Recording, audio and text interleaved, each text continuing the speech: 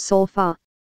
To sing the notes of the gamut, ascending or descending, as, dor ut, re, mi, fa, sol, la, si, do, or the same in reverse order yet can I neither solf ne sing.